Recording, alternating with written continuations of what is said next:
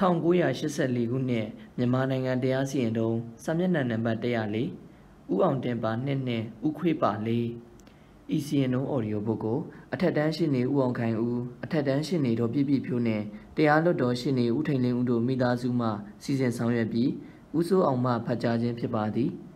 တရားမအထွေထွေအယူခံမှု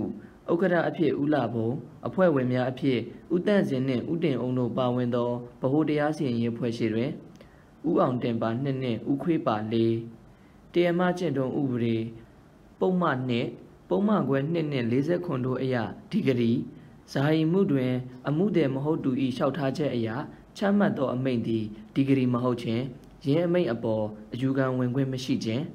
ဆုံးဖြတ်ချက်ဥခွေးသည်ဇာယီမှုတွင် အမှုတယ်တဦးမဟုတ်ချေတို့ဖြစ်ရာ ဥခွေး၏တင်ပြချက်နှင့်ဆက်လျင်း၍ချမှတ်သောအမိန့်သည်တရားမကျင့်ထုံးဥပဒေပုံမှန်40ခွန်တွင်အကျုံးမဝင်သဖြင့်ပုံမှန်နှစ်ပုံမှန်ခွဲနှစ်တွင်အတိတ်ပဲဖွင့်ဆိုထားသောဒီဂရီမဟုတ်ချေ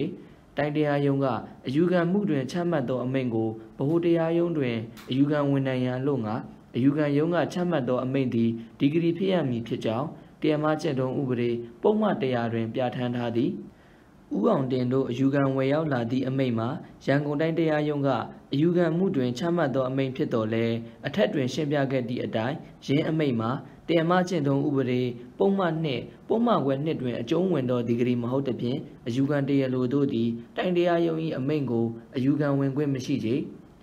အယူခံတရားလိုများအတွက်ဦးတန်းမောင်ဗဟိုတရားရုံးရှိနေအယူခံတရားပြန်များအတွက်ဦးမြင့်ထွန်းဗဟိုတရားရုံးရှိနေ ကြည်မြင့်တိုင်းမြို့နယ်တရားရုံးတရားမဇာယီမှုအမှတ်၄မြင်းဆောင်1988တွင်အယူခံတရားလိုဦးအောင်တင်နှင့်ဒေါ်ကြည်တွင်တို့ကတရားနိုင်များအဖြစ်ဖြင့်အယူခံတရားပြိုင်ဒေါ်ကျင်ယုံဒေါ်ပူးနှင့် ဦးအေးတို့အပေါ်ရရှိထားသောဒီဂရီကိုအတည်ပြုရာအယူခံတရားပြန်ဥခွေးကမိမိလက်ရှိဖြစ်နေသည့်အချင်းဖြစ်မြေနှင့်အိမ်မှမိမိအားဖယ်ရှားခြင်းမပြုရန်ကန့်ကွက်တင်ပြရာမြို့နယ်တရားရုံးကရင်းကန့်ကွက်ချက်ကိုပယ်ချပြီးအချင်းဖြစ်အိမ်ကိုတရားနိုင်တို့အားလက်ရောက်ပေးအပ်စေရန်အမိန့်ချမှတ်သည်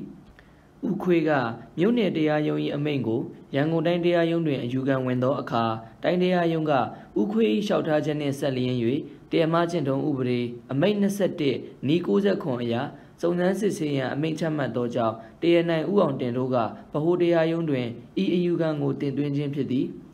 ဥခွေးသည်ဇာယီမှုတွင်အမှုတည်တူမဟုတ်ချေတို့ဖြစ်ရာဥခွေး၏တင်ပြချက်နှင့်ဆက်လျင်း၍ချမှတ်သောအမိန့်သည်တရားမကျင့်ထုံးဥပဒေ ပုံမှန်49တွင်အကျုံးမဝင်သဖြင့်ပုံမှန်နှစ်ပုံမှန်ခွဲနှစ်တွင်အတိတ်ပဲဖွင့်ဆိုထားသောဒီဂရီမဟုတ်ချေတိုင်းတရားရုံးကအယူခံမှုတွင်ချမှတ်သောအမိန့်ကိုဗဟိုတရားရုံးတွင်အယူခံဝင်နိုင်ရန်အလို့ငါအယူခံရုံးကချမှတ်သောအမိန့်သည်ဒီဂရီဖြစ်ရမည်ဖြစ်ကြောင်းတရားမကျင့်ထုံးဥပဒေပုံမှန်တရားတွင်ပြဋ္ဌာန်းထားသည်ဦးအောင်တင်တို့အယူခံဝင်ရောက်လာသည့်အမိန့်မှာရန်ကုန်တိုင်းတရားရုံးကအယူခံမှုတွင်ချမှတ်သောအမိန့်ဖြစ်တော်လဲ အထက်တွင်ရှင်းပြခဲ့သည့်အတိုင်းရင်းအမိန့်မှာတရားမကျင့်ထုံးဥပဒေပုံမှန်နှင့်ပုံမှန်ခွဲနှစ်တွင်အကျုံးဝင်သောဒီဂရီမဟုတ်သဖြင့်အယူခံတရားလိုတို့သည်တိုင်းတရားရုံး၏အမိန့်ကိုအယူခံဝင်ခွင့်မရှိကြ